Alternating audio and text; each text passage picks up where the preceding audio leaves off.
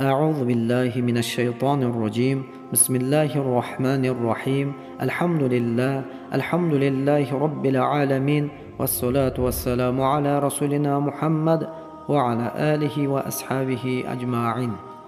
الله تعالى حمد سنالر الله نن رسوله صلوات سلام بلسن أما بعد السلام عليكم محترم برادر لر برادرلر بقون سزلردن اتبارنگزگا يستا صلوات ايتكن كشينين yuzta ehtiyoji ravo bo'lishi to'g'risida havola qilamiz.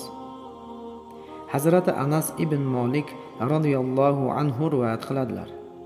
Janobi rasululloh sollallohu alayhi vasallam aytadilar qiyomat kunida har manzilda menga eng yaqin bo'lganingiz dunyoda menga eng ko'p salovat aytganingizdir kimki juma kunida va juma kechasida menga salovat aytsa allohu taolo uning yuzta ehtiyojini ravo qiladi. Yetmishtasi oxirat hojatlaridan bo'lib o'ttiztasi dunyo hojatlaridandir. So'ng alloh taolo bu ishga bir farishtani vakil qiladi.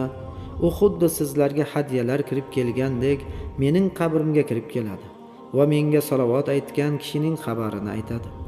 Uning ismini nasabini to qaysi qavmdan ekanigacha ma'lum qiladi. Men uni oppoq sahifaga qayd etib qo'yaman imom bayhaqiy rivoyatlari. السلام عليكم ورحمة الله وبركاته.